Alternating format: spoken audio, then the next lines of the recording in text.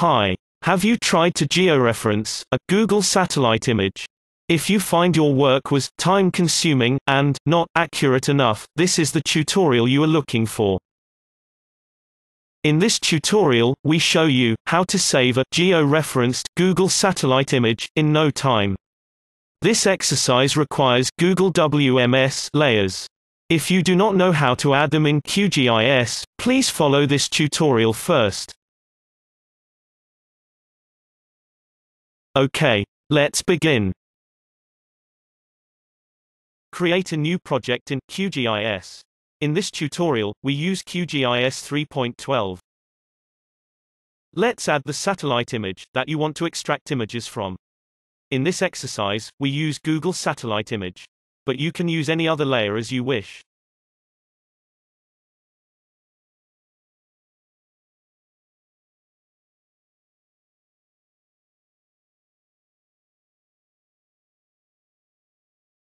Before moving further, let's check the coordinate system that is used in the project. You can see it bottom right-hand corner. At the moment, we are using EPSG 3857 coordinate system. Let's say we want to geo-reference our images in UTM zone 44 north. All what we have to do is changing the project coordinate system into UTM zone 44 north. To do that, go to Project menu and select Properties.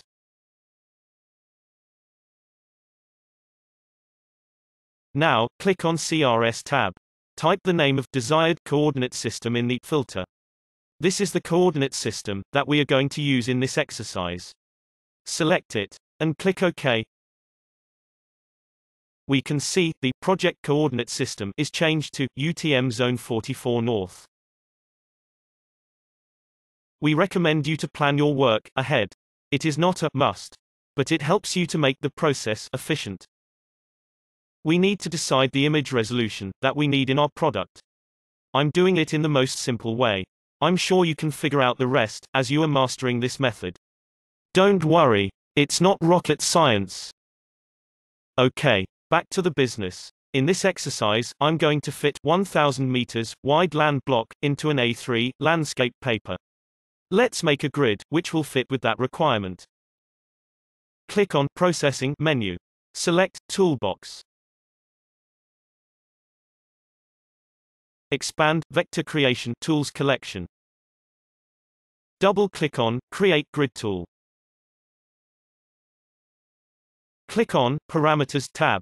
We need our grid as polygons.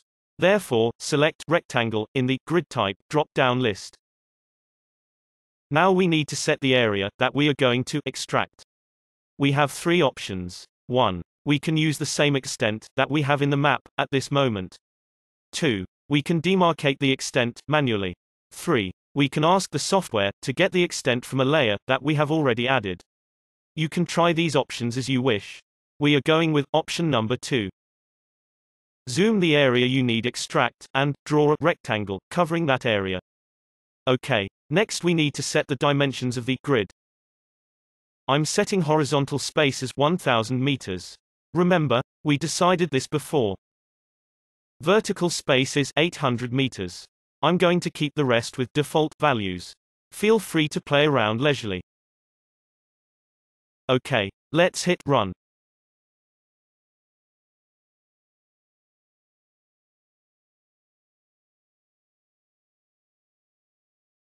Now we have a grid, covering our area of interest. Each of these rectangle is assigned a unique number. To see them, open the attribute table of the grid layer. Right-click on the grid layer, and select Open Attribute Table. You can find the unique values in the field, ID. Select a row to highlight the corresponding rectangle.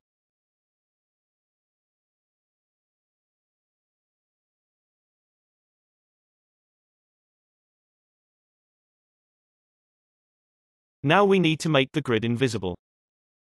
Right-click on Grid Layer, and go to Properties. Click on Simple Fill. Select No Brush for Fill Style. Select No Pen for Stroke Style. Click OK.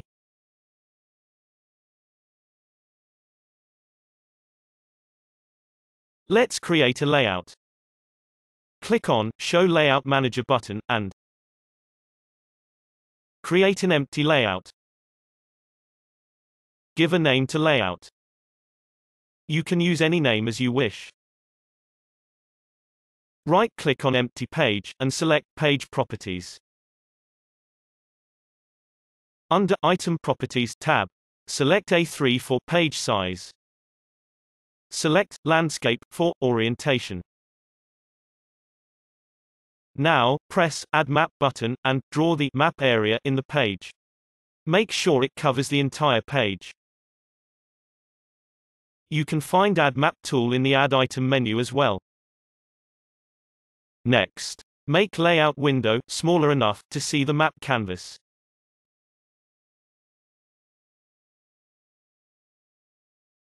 We can close Layout Manager now. Open Attribute Table of Grid Layer and make it small enough to keep both Layout Window and Attribute Table side by side. Do not resize Map Canvas. Always keep it full screen. Get Layout Window back. Select a row to select a rectangle. By the way, don't make Attribute Table too small. We need to use Zoom Map to the Selected Rows tool. Click on Zoom Map to the Selected Rows tool. The map is zoomed to fit the selected rectangle to the screen. Now, go to the Layout window. In the Item Properties, click on this button to set Map Extent to match Main Canvas Extent.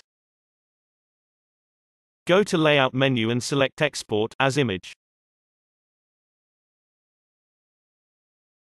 Browse to target folder where you want to save images. Give a name, and click Save.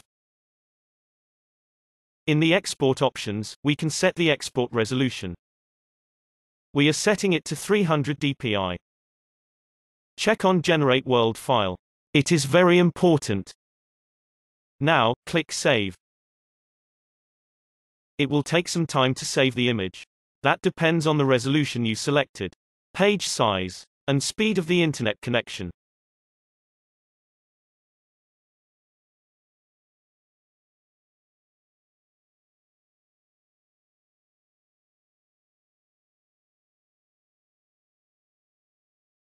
Once the image is exported, you'll get a notification.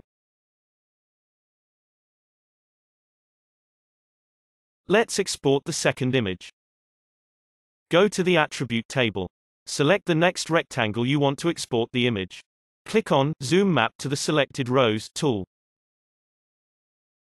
Go to Layout window. Set the Map extent to match main canvas extent. Export the image.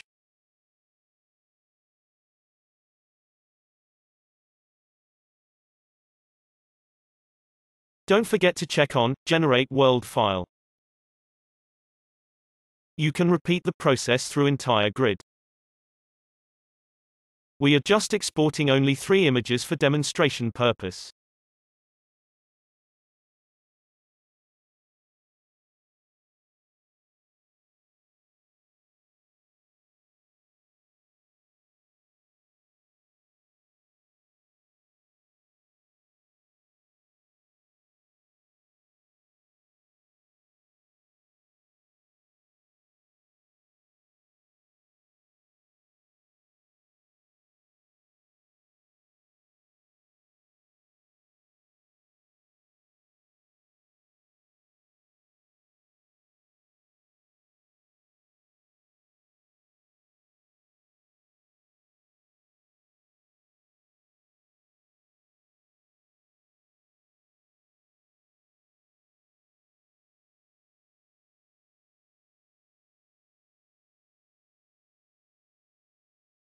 Let's add exported images to map window.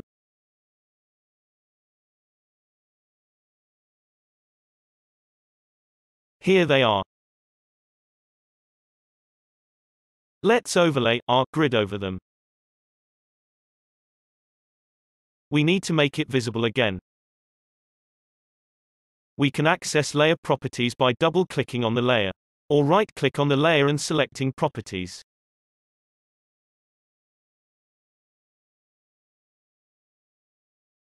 Here it is.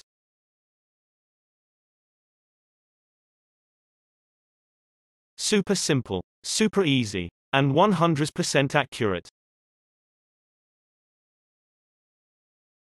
We hope this will be useful in your work.